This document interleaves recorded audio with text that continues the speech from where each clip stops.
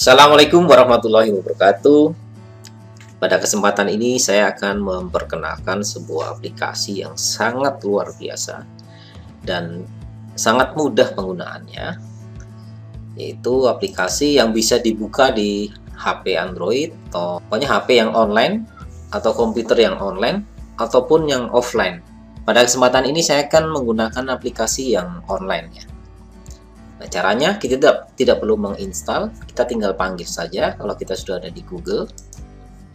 Ketika aja Meet app atau MIT app. Tinggal enter saja.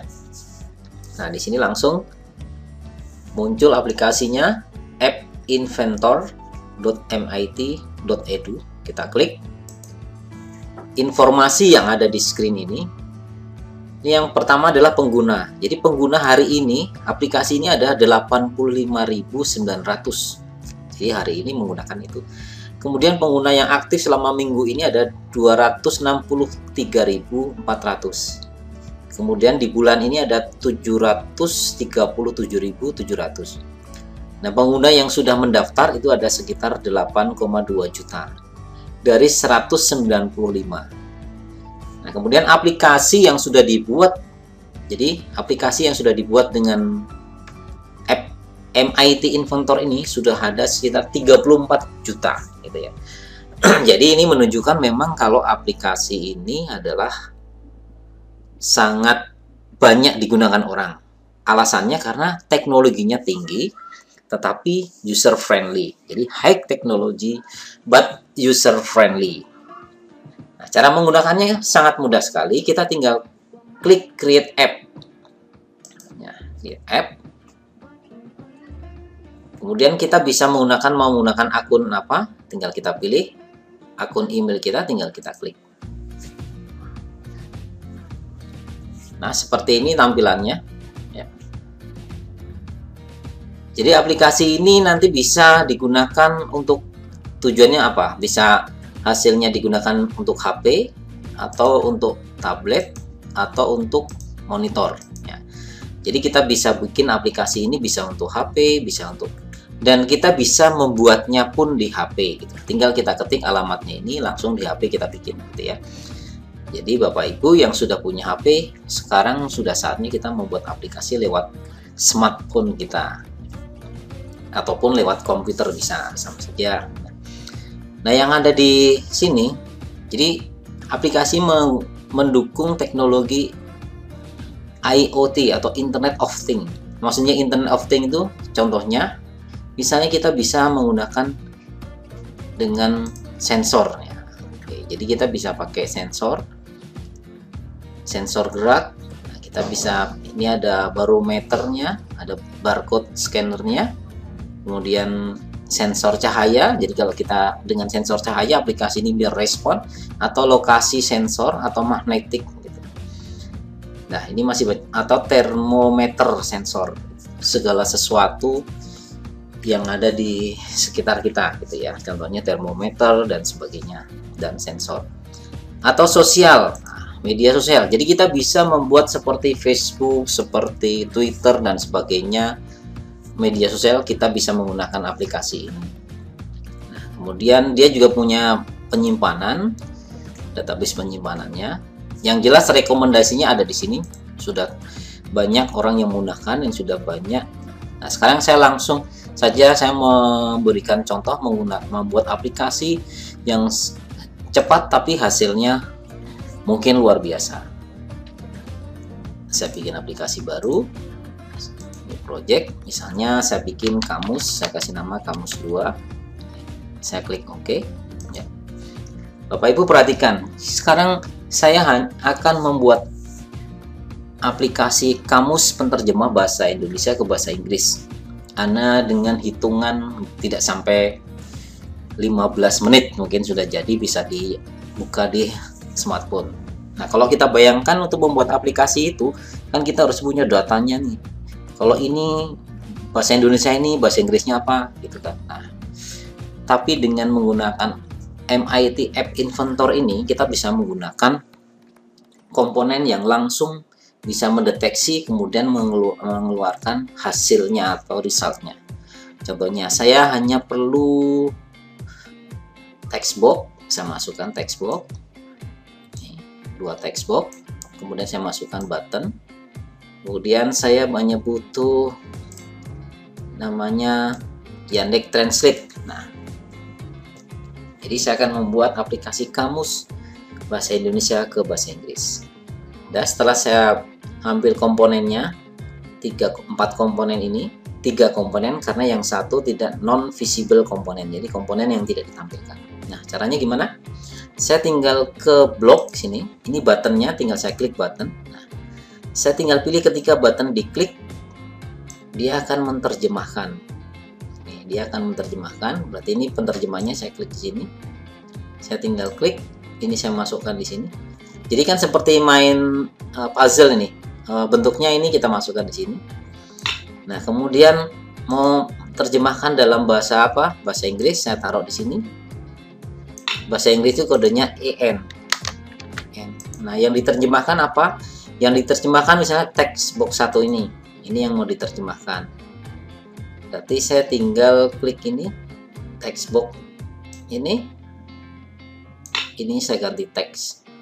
Nah, ini nanti akan diterjemahkan. Nah, setelah diterjemahkan, kemudian akan dituliskan di teks di bawahnya. Saya tinggal ngambil ini ini textbook 2 saya ambil tinggal set textbook 2 ini saya ganti jadi teks. Kemudian translationnya saya taruh di sini. Ini translation saya taruh sini. Sudah seperti itu. Tinggal langsung saya compile.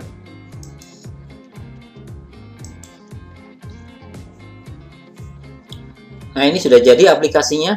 Namanya Kamus 2 APK aplikasi ini nanti akan kita copy di HP kita oke kita lihat nih. Nah ini aplikasinya ini kamus 2 nah sekarang aplikasinya mau kita install di HP kita. Nah ini saya pakai emulator. Jadi ini seolah-olah ini adalah HP saya tinggal install klik APK kemudian saya install di sini. Ini proses instalasi. Sudah kita coba. Saya double klik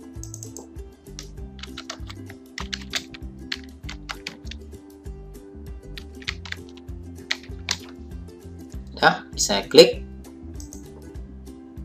Nah hasilnya akan ada di bawah ini. Jadi oke saya ulang lagi. Misalnya setelah saya suka roti. Kita klik. Light break ya. Oke demikian pak ya. Jadi bikin kamus hanya secepat itu. Yang lebih interaktif lagi dia bisa mensensor suara kita oke? Ini dalam bentuk yang lain. Ini misalnya satu lagi saya misalnya ada kamu satu lagi ya. nah ini contohnya menerjemahkan dalam bahasa tiga bahasa. Bahasa Prancis Jerman dan bahasa Inggris baik ya. Nah sekarang terjemah dalam bahasa Inggris dulu misalnya. Saya klik bahasa Inggris saya tulis saya suka makan bakso misalnya.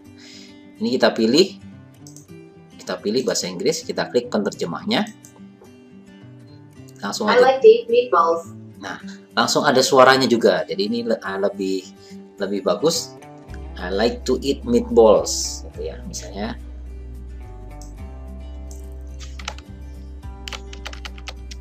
Saya akan pergi ke